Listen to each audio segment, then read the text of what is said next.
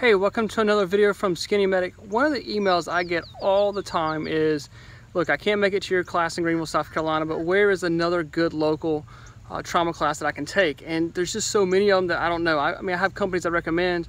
Um, there's individuals I know they're doing trauma classes and I recommend those guys, but I don't know all the companies that are doing good quality uh, first aid trauma classes out there. So middle of the night, had a brainstorm idea, and I'm gonna go with it. So we're launching a new project project here. Uh, we're gonna launch traumaclasses.com, and what we did is we created a form on there, and all the states are listed uh, there. So if you're an instructor, you can list your class, uh, when the dates are, all the information there. List the date, the classes, uh, what you're gonna cover in the class, how much it is, and things like that. And then students, if you know of classes that are out there, you're gonna be taking a class or you've taken a class from an instructor, uh, listed in there. And the way I'm gonna use this as check and balances is the fact that if I put a class on in Greenville, South Carolina, and you come and take it and you're like, this class sucks, he doesn't know what he's talking about, then put it on there. Like, look, I took this skinny medic class, it's not very good, wouldn't recommend it, blah, blah. But at the same time, if you come take my class in Greenville, South Carolina, you're like, man, that dude's legit. He knows what he's doing, he can teach very well, blah, blah.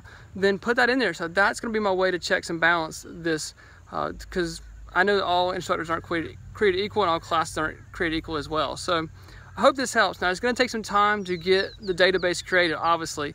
Uh, there's people already posting their stuff in there. Uh, there's uh, one gentleman I saw post on Facebook, he already found a trauma class near him that he didn't know anything about before this. Before this. So this is exactly what this is for, is to help people find local classes for them. So I'll put a link down below it's going to be traumaclasses.com and you click on find a class near me, search now, and that'll take you into the form. Um, and it's really easy from there. Uh, so I hope this helps. I really do. I hope it's something that's going to be bigger and grow into the future. So we'll see. Uh, but I, I hope it helps. Hope it finds good quality training out there for you guys to get good hands-on training. So we'll see. Thank you guys for watching. You never know when you'll be the first responder in the right gear and the right training.